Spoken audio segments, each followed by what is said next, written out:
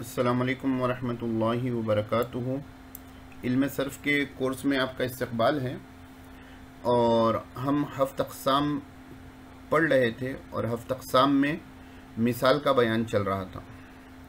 इससे पहले हमने देखा वादा याईदू के बारे में और तकरीबन उसकी जितनी सर्फ़ की गर्दानें होती हैं, तकरीबन तमाम गर्दानों को हमने देखा। कि कहाँ कहाँ तालील होती है और कहाँ नहीं होती है, कहाँ पर किस कायदे के तहत होती है। अब आगे बढ़ते हैं। जी।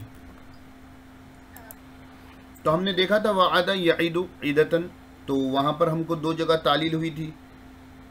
यईदु में हुई थी और ईदतन में हुई थी और इन्हीं की बुनियाद पर आगे कहीं पर तालील हुई तो वहाँ तालील हुई थी। आज के सबक में हम देखेंगे मिसाल वावी बाब फ़तह यफ्तहू से। वो तो था ज़रवा यजरिबू से वादा यऊ अब यह बाब फ़तह यफ्तहू से। तो इसमें है अल वहबू और उसका मज़र है अल हिबतु देना, बख्शना, गिफ्ट करने के लिए जो है वाहबुन का वर्ड इस्तेमाल होता है। तो चलें पहले बिस्मिल्लाह करते हैं सरफ सग़ीर से। वहबा यहबू वहबन वहिबतन फ़हुआ वाहिबुन। व वहिबा यूहबू वहबन वहिबतन फ़हुआ मौहूबन अल अमर मिनहू हिब हब व नहयु अनहु ला तहब अज़रफ़ मिनहू मौहिबुन मौहिबानी मवाहिबु वल आलत मिनहू मीहबुन मीहबानी मवाहिबु व मीहबतुन व मीहबतानी व मवाहिबु व मीहाबुन मीहाबानी मवाहिबु अफल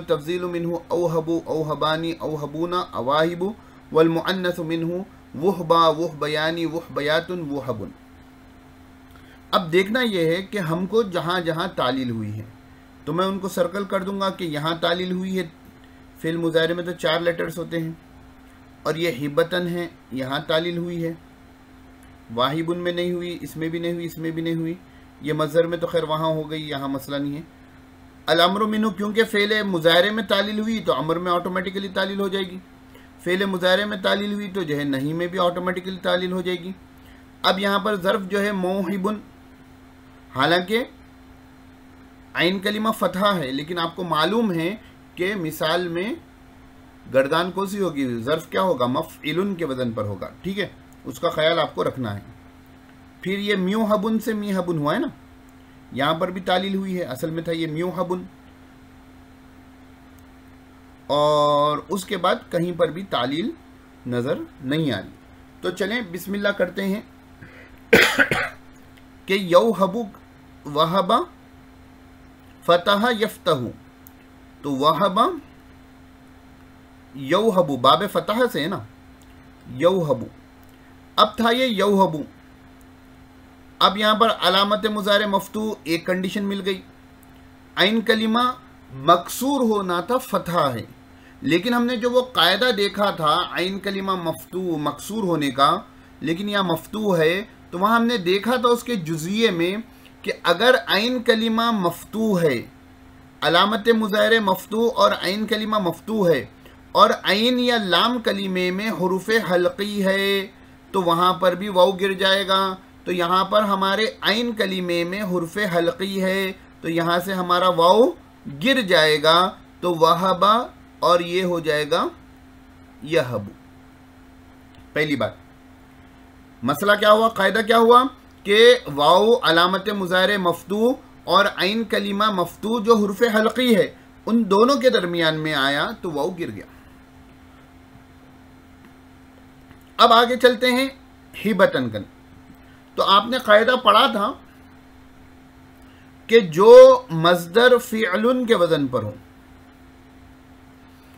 और मुजाहरे में से वाउ गिरा हो। तो मजदर से भी वाउ को गिरा देंगे।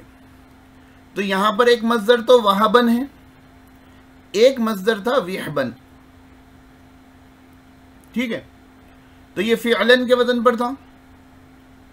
तो यहाँ पर क्या करे? वाऊ को गिरा दिए, क्योंकि फेल मुजाहरे में से वाऊ गिरा हुआ था। और दूसरा काम क्या करे? आखिरी में क्या करे? गोलता लगा दिए। तो आपका बन गया हिबतन तो ये दो तालील हो गए आपके। अब उसके बाद आइए, हब पे आ जाइए। तो यहबू से तहबू बना। ठीक है ना? अब अलामत मुजारे हमने गिरा दी फेल अमर बनाने के लिए। और आखिरी वाले को जज़म दे दिया। फ़ा कलिमा देखा कि मुतहरिक है तो हमको हुरफे क्या बोलते हैं? हमज़ा वसली लगाने की ज़रूरत नहीं पड़ी। अगर कोई इन डिटेल ऑपरेशन करना चाहते हैं तो वो ऐसा हो जाएगा कि तवहबू था। ठीक है ना? तवहबू से तहब बनाना पड़ेगा आपको। तहब जैसा अभी हमने यहाँ पर बनाया, उसके बाद जो है, हब बन जाएगा।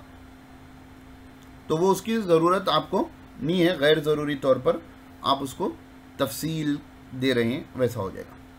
उसके बाद हमारा है मी हबुल तो ये असल में था म्यू हबुल ये असल में क्या था? म्यू हबुल कायदा क्या है? म्यू जानून से मीजानुन हुआ ना? कायदा क्या है? जी, कायदा नंबर पाँच क्या था? जो वाऊ साकिन गैर मुदगम हो और उसका माकबल मकसूर हो तो वो वाऊ या से बदल जाता है। कायदा नंबर क्या है ये? पाँच। हमने जो पढ़ा था उसमें क्या था कायदा नंबर? पाँच। कायदा नंबर क्या था? पाँच था। तो जो वाउ साकिन तो ये वाउ साकिन है, पहली कंडीशन है। गैर मुदगम हो, दूसरी कंडीशन भी पाई गई। उससे पहले कसरा हो, तीसरी कंडीशन भी पाई गई। तो वाव को क्या कर देंगे? या से बदल देंगे। तो ये हो गया मी हबुल तो ये क्या हो गया? मी हबुल ये क्या हो गया? मी हबुल तो यहाँ यहाँ हमको तालील हुई है। तो तालील आपको समझ में आनी चाहिए। वहबा यहबू वहबन वहिबतन फ़हुआ वाहिबन। वहिबा यूहबू हिबतन, वहबन वहिबतन फ़हुआ मऊहूबन। अलअमर मिनहु हब व नहयु ला अज़रफ़ मिनहु मौहिबुन, मौहिबानी मवाहिबु। वल आलत मिनहु मीहबुन, मीहबानी मवाहिबु। व मीहबतुन, मीहबतानी मवाहिबु, मीहाबुन, मीहाबानी मवाहिबु। अफल तफजील मिनहु। अवहबु अवहबानी अवहबूना अवाहिबु वल मुअन्नस मिनहु वहबा वह बयानी वह बयातुन वहबुन अब आपका ये सवाल हो सकता है कि मौलाना यहाँ पर क्यों नहीं गिरा हुआ इन दोनों में तो गिर गया था तो मैं लिखूँगा यहाँ पर मवाहिबु मैं देखूँगा कंडीशन क्या है कायदे नंबर पाँच की जो वाउ साकिन पहली कंडीशन ही फेल हो गई आगे देखने की आपको ज़रूरत ही नहीं है वाउ साकिन नहीं है आगे देखने की आपको ज़रूरत ही नहीं है वो गिरेगा नहीं ठीक है ना अब तक जितने कायदे हम पढ़े हैं। ये बात समझ में आ गई? तो चलें आगे। एक सेकेंड। ये क्या हादसा अब माजी मुस्बत मारूफ देखते हैं। वहबा वहबा, वहबू, वहबत, वहबता, वहबना, वहबता, वहबतुमा, वहबतुम, वहबती, वहबतुमा, वहबतुन्ना, वहबतु, वहबना।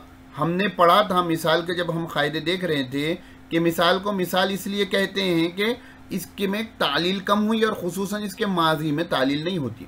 तो यहाँ हम टेंशन फ्री हैं। उसके बाद माजी मुस्बत मजहूल, मारूफ में नहीं हुई तो मजहूल में भी नहीं होगी।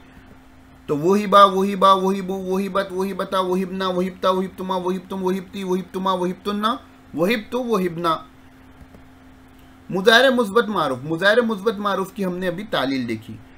ठीक है ना? यहबू से यहबू हुआ। तो पूरी गर्दान क्या होगी? यहबू, यहबानी, यहबूना, तहबू, तहबानी, यहबना, तहबू, तहबानी, तहबूना, तहबीना, तहबानी, तहबना अहबू। नहबू ये पूरी गर्दान हो गई ठीक है ना? तो ये चीज़ आपको तालील तो हमने देख ली, यहाँ लिखा हुआ यह हबू के असल में यहबू था, इसमें कायदे नंबर तीन जारी हुआ, यानी वाव अलामत मुजार मफतू, और ऐसे फतह के दरमियान में वाक़ हुआ है, जिसमें आन कलीमा हरफ हल्की है। इसलिए वाव हजफ हो गया। और यह हुआ तफसील से मैंने शुरू में आपको समझा दिया। मुजाहिर मुस्बत के तमाम सेगों में यही तालील की जाएगी। आगे क्योंकि हम जब मिसाल के बाद अजूफ वगैरह पढ़ेंगे तो वो बीच में भी ऑपरेशन होंगे, इसलिए मुसनफ़ यहाँ पर ये लाइन लिखे हैं। मुस्बत मजहूल में तालील नहीं हुई। देखो, यू हबू को ले लेंगे एक मरतबा देखने के लिए कि मैंने यू हबू लिया। तो क़ायदा क्या था? जो वाओ अलामत मुजाहरे मफतू, यहाँ पर क़ायदा आपका फ़ेल हो गया तो आगे जाकर देखेंगे नहीं। अगर अलामत मुजाहरे मफतू रहता तो जब देखते थे आइन कलीमा मकसूर है या मफतू है मकसूर है तो बहुत अच्छी बात थी। मफतू है तो देखते थे कि आइन कलीमा या लाम कलीमा हुरफ हल्की है क्या? तो पहली कंडीशन फेल हो गई तो आगे आपको देखने की ज़रूरत नहीं है। नफ़ी ताकीद बलन मारूफ वगैरह जो है, वही तालील होगी जो फेल मुजाहरे मारूफ में हुई। लन यहबा लन यहबा, लन यहबू, लन तहबा लन तहबा, लन। लन यहबना, लन तहबा लन तहबा, लन तहबू, लन तहबी, लन तहबा, लन तहबना, लन अहबा लन अहबा।